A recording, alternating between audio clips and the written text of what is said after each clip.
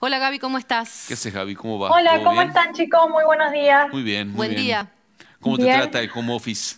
bastante bien, bien, bastante bien. La verdad que uno por ahí se siente más protegido quedándose eh, en casa y por eso estamos desdoblados en, equipos, ¿no? Para que todo sea más, más seguro. Contanos, Gaby. Bueno, chicos, vamos a seguir hablando de eh, esta, esto, este fuego cruzado, digamos, entre los jueces eh, Pedicone y Leiva y las repercusiones que esto está teniendo en la Cámara. Vamos a hablar ahora con eh, Raúl Pellegrini, quien es legislador de la oposición, es uno de los representantes de la oposición en la Comisión de Juicio Político, precisamente, donde se han efectuado una serie de presentaciones para que sean destituidos tanto Pericone como Leiva. Eh, el legislador es del Partido por la Justicia Social y le damos la bienvenida. ¿Cómo está? Buenos días. Buenos días, Gaby. ¿Cómo le va? Bien, ¿cómo está usted? Bueno, eh, legislador, ¿cómo está viendo toda, toda esta situación por la que está atravesando la justicia provincial? Bueno, sí, eh, yo creo que eh, comparto la, situación de zozobra y de preocupación de toda la sociedad de la provincia de Tucumán. Me, da la impresión que es, un, que es una crisis que tiene características inéditas y que amerita, obviamente, que la resolución sea lo más pronto posible y dentro del marco de las instituciones, más allá de los debates que se puedan producir, más allá de las posiciones que puedan existir, pero acá, eh, en estos momentos de crisis, en las democracias se soluciona con más democracia y en las repúblicas se soluciona con más república. Así que en ese sentido yo creo que a lo que hay que apelar, más que las opiniones que se puedan formular y los posicionamientos, es que las instituciones cumplan el rol para el que ha sido, han sido creadas especialmente en estos momentos críticos, estos momentos difíciles, y eh, son las que tienen que llevar la claridad y la transparencia de los procesos para que la sociedad tenga la respuesta que merece. Eh, legislador, ¿cómo es el camino dentro de la comisión una vez que se, que se reciben este tipo de presentaciones? Bueno, eh, en realidad, si bien hay una sola condición de juicio político, hay dos procedimientos. Eh, esto está establecido en el artículo 47 de la Constitución Provincial y el primer procedimiento está establecido para el juicio político que tiene que ver con eh, eh, delitos comunes o falta de cumplimiento de los deberes inherentes al cargo de funcionario, ya sea para gobernador, vicegobernador, miembros del Poder Ejecutivo, de los miembros de la Corte Suprema, del ministro fiscal y de miembro del Tribunal de Cuentas y defensor del pueblo. Este procedimiento, eh, cualquier ciudadano presenta en mesa de entrada las objeciones, tiene que cumplir una serie de formalidades, obviamente que tiene que presentar acompañada cuáles son de la denuncia, tiene que presentar eh, eh, cuáles son las pruebas y cuáles son toda la documentación requerida para el caso. La Comisión de Juicio Político la decepciona, eh, y una vez recepcionada, lo que eh, formula es, eh, al cabo de un plazo, cursa al, al acusado, le corre traslado al acusado de tal manera que efectúe su descargo.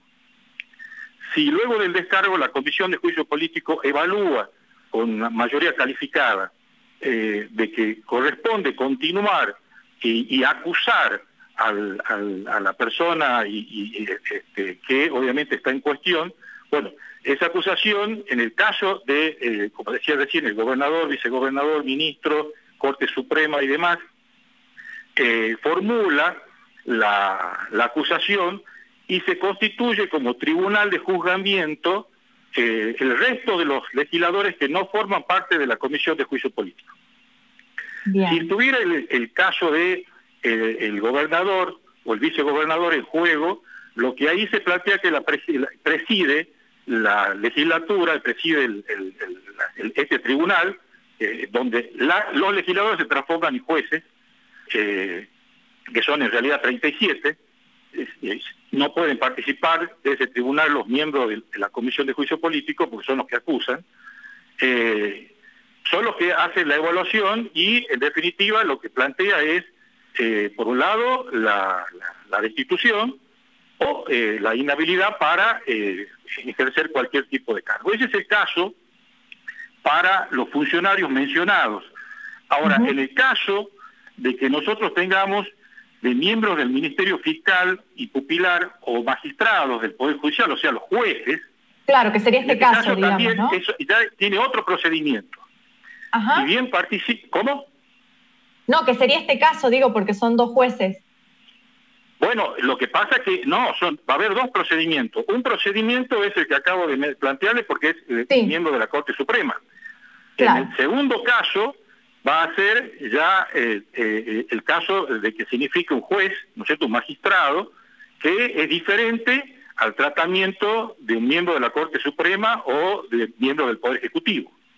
En este segundo caso, cuando es un juez, magistrado, eh, también en la Comisión de Juicio Político, con todo el procedimiento de recepción de la denuncia, correr traslado, se hacen los descargos y demás, y luego de, ver eh, que eh, amerita la acusación, la formula.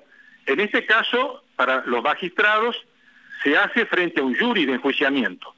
Ya no, no es la Cámara la que se transforma en tribunal eh, tratamiento, digamos, de la problemática, sino que eh, hay un jury de enjuiciamiento, jurado de enjuiciamiento constituido por un representante de la Corte Suprema, un representante del Colegio de, Abogados, un representante del de, eh, eh, Poder Ejecutivo y cinco legisladores. o sea, en ese, este, son los que obviamente llevan adelante todo un procedimiento, prácticamente como un juicio en ambos casos, y bueno, se formulan las los descargos, eh, se formulan las acusaciones y a partir de ahí se resuelve. O también, como el caso anterior, la separación del cargo y también la posibilidad de la inhabilitarlo para ejercer cualquier cargo público. Bien, eh, legislador, ahora al margen de esta cuestión institucional en la que sabemos que usted no puede opinar porque va a intervenir, digamos, de alguna manera, eh, hay una cuestión política también, ¿no? Como que corre en paralelo a esta cuestión, que es eh, la relación entre eh, el bucismo y el oficialismo provincial.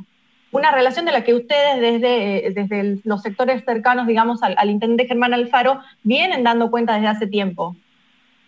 Bueno, en, realidad yo no voy a opinar respecto a la situación presente, porque la opinión la voy a tener que formular en el momento que tenga que emitir mi dictamen, eh, ya sea corriendo traslado en cualquiera de los dos casos eh, para los descargos o ya sea emitiendo dictamen una vez que eh, se determine o no la necesidad del enjuiciamiento formulando la acusación, ya sea al jury de enjuiciamiento o ya sea a, este, al jurado de enjuiciamiento que es la Cámara.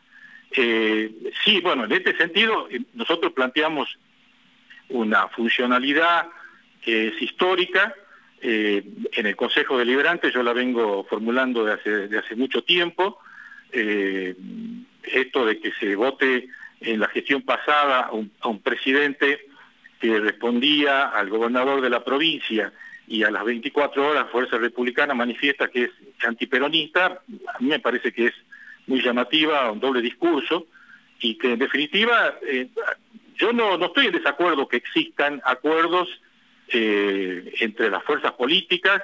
Es más, los órganos legislativos son lugares de acuerdos, donde se llegan a acuerdos antes de formular las posiciones y los votos para llegar a formar una ley, una ordenanza, lo que fuera, eh, sino que no me parece bien que no se le diga a la sociedad la realidad, la realidad y la verdad, y la duda que genera de acuerdos que en definitiva no sabemos cuáles son los términos y qué, cuáles son los objetivos por los cuales se han formado los mismos. Así que en ese sentido, sí, creo que, no, le hace bien a la política eh, cuando un funcionario, un dirigente político eh, establece una estrategia, establece un acuerdo y no lo dice por qué y no lo dice con quién. Así que en ese sentido, sí, obviamente yo tengo una crítica histórica. Bien, muchas gracias, legislador, por este contacto. Muchísimas gracias.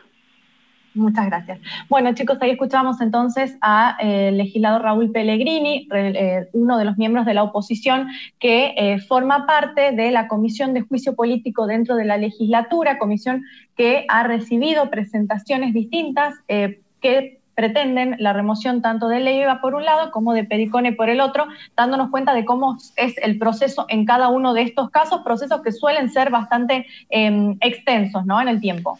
Bien, Gaby, quedó clarísimo. ¿eh? ¿eh? importante ahí el detalle de cómo se debería proceder en cada caso.